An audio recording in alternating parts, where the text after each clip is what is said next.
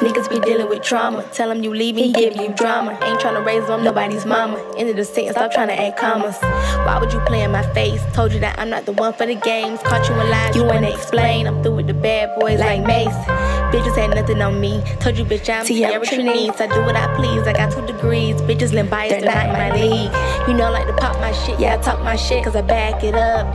So if you wanna leave, you can go shit. I might help a nigga stop packing up. Stack it up, I do that well. Pretty thick, fine as hell. So far that a nigga ever handle me funny, I'll be back by myself.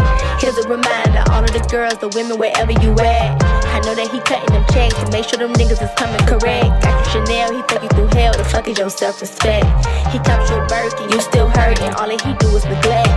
Don't let a nigga put you on your back if he can't put you on your feet.